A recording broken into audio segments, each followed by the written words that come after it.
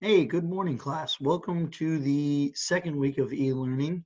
Uh, you will see a new red folder entitled the week of April 13th uh, through the 19th. Um, I will publish it on Monday, the 13th, even though it is a day off of school on the calendar.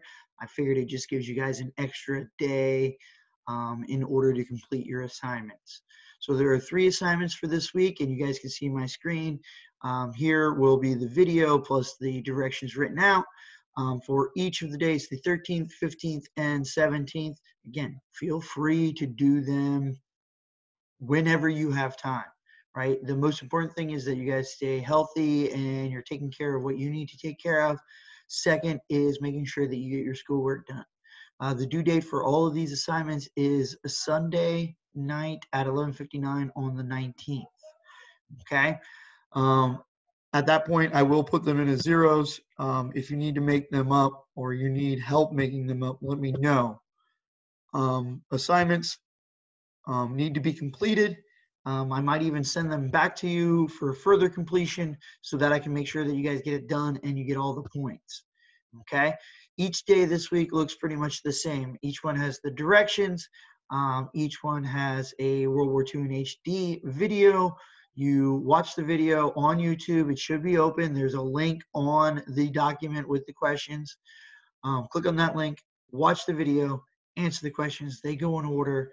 Um, so if you get to the answer for the next question, pause the video, go back, find the answer to the previous question, and then continue to watch. Um, so let's just look at the 13th um, here, a little bit more detail.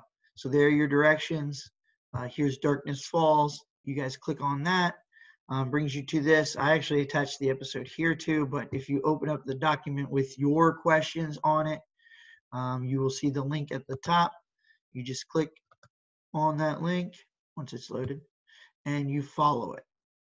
And it will take you here oh sorry if it takes you to the end it probably took me to the end because i was watching it if it takes you to the end just make beginning Okay. Watch the questions. See, it does say the video is approved for myexeter.org.